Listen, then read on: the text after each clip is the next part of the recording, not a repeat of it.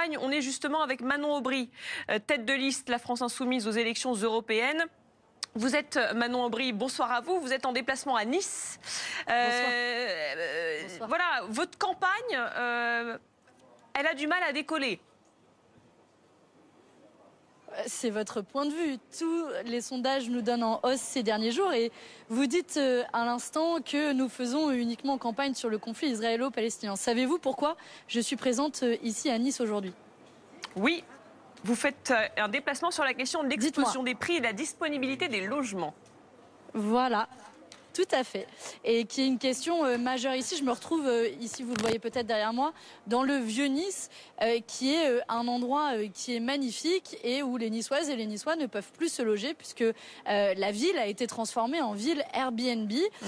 où il y a plus de 12 000 logements Airbnb qui ne sont absolument pas encadrés, alors que les Niçoises et les Niçois ont non seulement des difficultés à se loger, mais en plus que le prix du logement a explosé. Donc je suis venue ici pour proposer à la fois d'encadrer très strictement Airbnb, mais aussi pour demander d'investir massivement dans le logement social, alors que ici à Nice, seuls 14% des logements sont des logements sociaux, bien loin, très loin des objectifs mais Manon nationaux de 25%.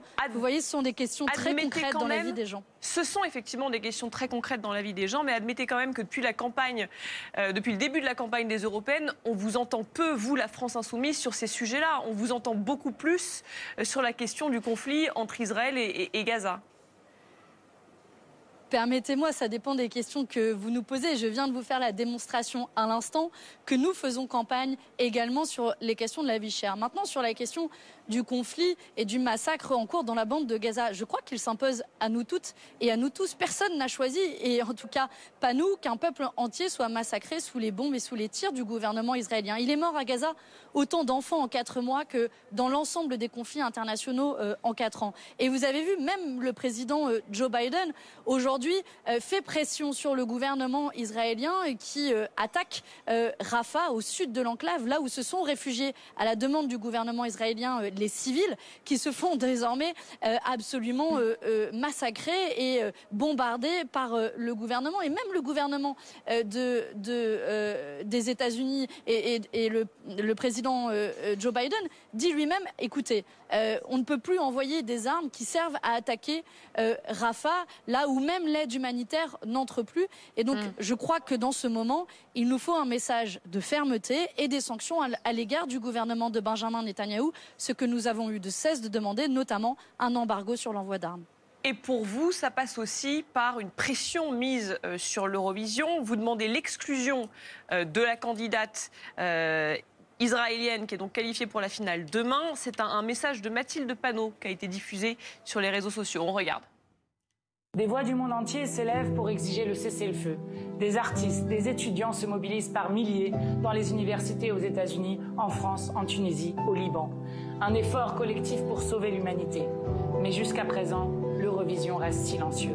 Pourtant, en 2022, la Russie a été immédiatement exclue de cette compétition suite à l'invasion illégale de l'Ukraine. It is in the name of peace, it's in the name of love for culture that we call for Israeli out from Eurovision, as long as the massacre of the Palestinian people moves on. We call on the Eurovision, act now, exclude Israel, or else boycott.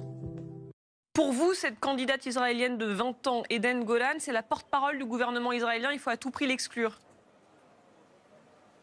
Vous savez, l'enjeu, c'est le deux poids, deux mesures. Comment justifier qu'en 2022, à l'heure où euh, la Russie euh, envahissait euh, l'Ukraine en violation du droit international, alors la Russie a été exclue de l'Eurovision?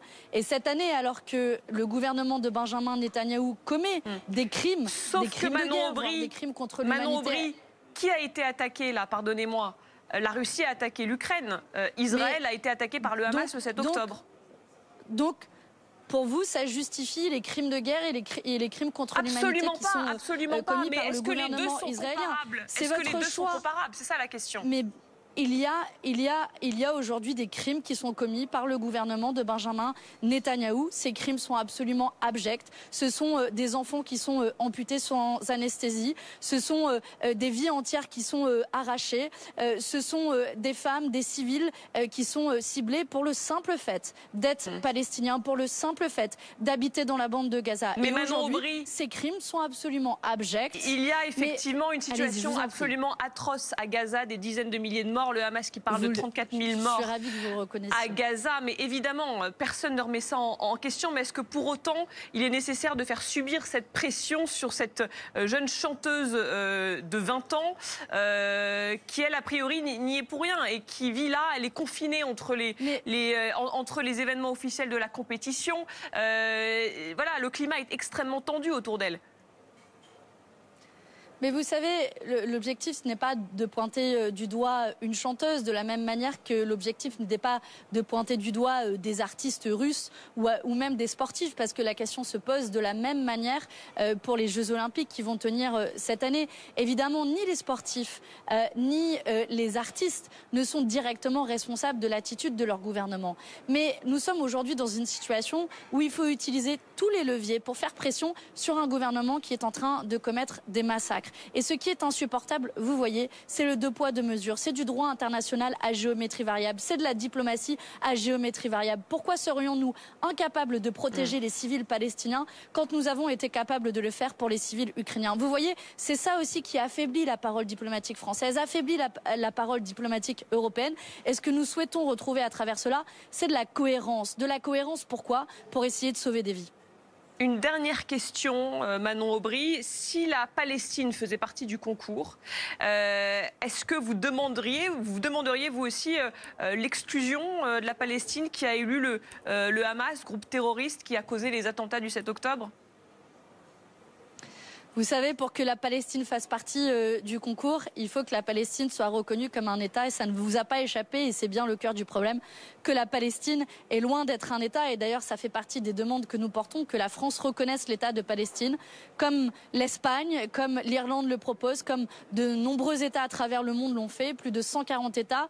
Et j'ai entendu le président de la République Emmanuel Macron dire lui-même que c'était une question à ne pas exclure mais comme souvent il est dans les mots et rarement dans les actes alors qu'on commence par reconnaître l'État de Palestine et ensuite on pourra discuter de qui sont les représentants de l'État de Palestine. Je rappelle que la Palestine comporte aussi la Cisjordanie, qu'il y a une autorité palestinienne et qu'elle, elle, n'est absolument pas coupable ni responsable des crimes abjects et terroristes qui ont été commis par le Hamas le 7 octobre, mais qui ne justifient en aucun cas d'anéantir, de décimer un peuple entier qui est le peuple palestinien et qui doit aujourd'hui toutes et tous nous interroger, nous mobiliser. Merci beaucoup euh, Manon.